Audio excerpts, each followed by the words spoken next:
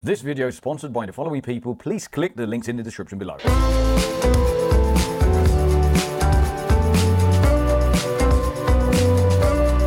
So one little tip that helps, if you've got persistent scratches right up by the plunge line, I actually like to switch to a round bar for that. Ideally one that fits inside your size of plunge line. What a round bar does is you've got a much smaller contact point, so you can put a lot higher pressure down and just really bear down on the deep scratches. And then make sure you switch back to a flat plate to go over the top of them to actually make the surface flat. But sometimes it's nice to not be sat there for 20 minutes over one scratch. Just hog it out with a little stick and then switch back to a flat. And then the other tip that, that really helps with sanding is Rhynowet. Get some Redline.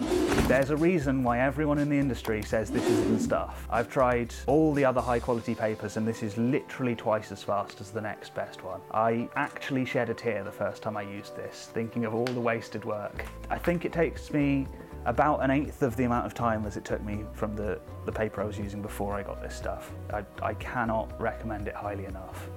The next step on this, just grind this bit of the tip off. So this bit has been here the whole time so that I've got something flat to sand off of and so that there's a heat sink while I'm grinding.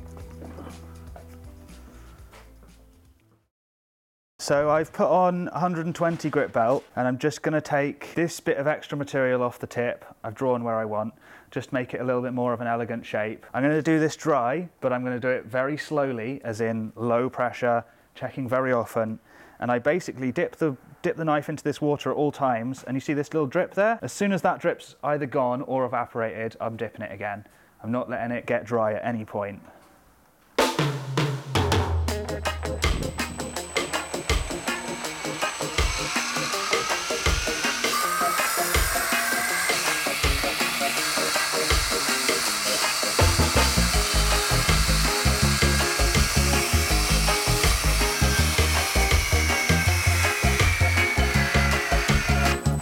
I'm now going to switch to a 220 grit and just round over the spine as well, all the way down to the tip. If the spine is rounded right at the tip, it makes the very tip itself just a tiny bit thinner, which means it'll penetrate through, through food a little bit better.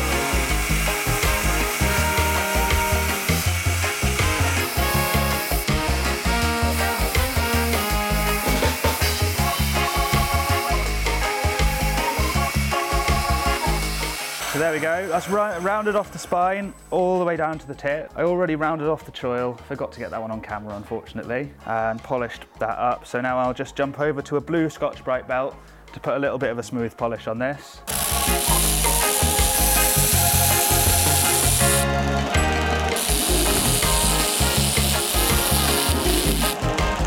So the last step before starting to fit the handle on will be to clean this off with some solvent and very quickly dip it in the acid to bring out the contrast between the core and the cladding.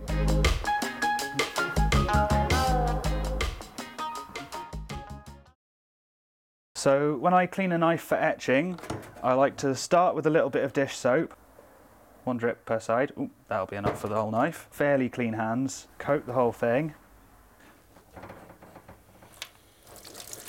Rinse the whole thing off. Don't worry about touching it with your fingers at this point. I'm gonna make sure to get all the soap off, wave as much of the drips off as possible. Isopropyl alcohol, you can use acetone if you like, just something that cleans quite clean. Um, isopropyl goes to absolutely nothing. And then I'm gonna rinse it under just clean water again to get any little bits of lint or dust from the cloth off. And that's now ready to etch. So we're just going in the etch tank here and that'll be, I'm just gonna hold it because I do a very short etch on my stainless Sanmai. So I'll just count to 10 and then check. And that, if I've got any fingerprints on it or anything, I, they'll show up straight away. So no fingerprints, nice contrast. I'm gonna give it another 10 seconds. I like roughly 20 to 25 seconds in, this is 4 to 1 ferric chloride to uh, water to ferric chloride. That'll do. Then I'm going to rinse it off in some water, get all of the acid off it. Just look at that lovely contrast. One thing I really love about stainless Sanmai is all of this, this wavy, cloudy stuff. So this is the carbon migration I was talking about right at the start of this process. Where the dark core is whiter, that's where it's lost a bit of carbon, and where the shiny cladding is darker right by the edge, that's where it's gained a bit of carbon. So the dark bit here has basically robbed the carbon out of the, the lighter part. And ideally, you don't really want any of this light stuff coming down and touching the edge. So we're gonna go put some bicarb of soda on this blade really quickly. If you etch a knife and then wash it off and leave it, it'll seem fine for 10 minutes and then it'll start to go rusty. So you want to basically put some base or some alkali on the blade to neutralize any remaining acid. And that could be just sitting inside the microscopic scratches. So it, it might look like you've cleaned it off, but there's still a bit left. So yeah, just a little mixture of water and bicarb and make sure to rub it in really thoroughly all over. When I rub near the edge, I'm always going outwards and then relieve pressure just to avoid cutting myself. Make sure to get the tip and the spine because there's some carbon steel showing on the spine and the choil. And I'll also do the tang because we wouldn't want the tang going rusty. And that's basically done. As long as you've rubbed it in all over, you can then just rinse it off with some cold water. And then again, get as many drips off the blade as you can. And I'm gonna oil it straight away. So I take a heat gun and I'm gonna dry the blade with a heat gun. So there's still no fingerprints ideally on the blade, not touched it at all. Actually, there's still some bicarb, it needs a bit more of a rinse. And then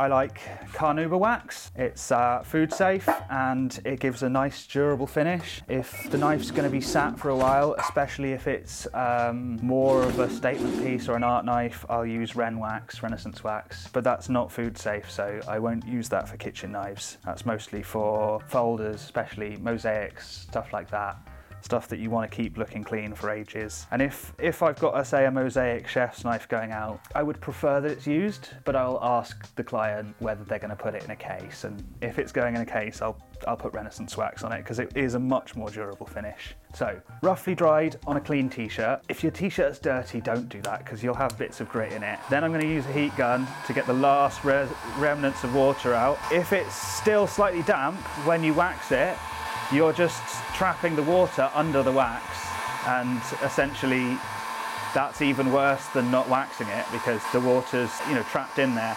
I mean I guess it might not be worse actually because you need oxygen to rust as well as water so if you got the waxing perfect you might be able to avoid rust but just get the blade dry first. Okay, so that's dry and also warmed up, which is gonna help the wax to stick. So I'll just rub the wax all over, Remember to get the spine and choil and then I'm going to take a clean cloth and remove all of the excess wax. Make sure to do it before it dries, otherwise it does not come off, uh, at least. Read the instructions for your specific wax. Again, Make sure the bit of cloth you're using is clean. Don't want bits of grit in your cloth. And if you're gonna do this, again, make sure your fingers are always traveling away from the edge of the blade. So my hand is always moving up in relation to the blade never down, otherwise you might end up cutting into your finger.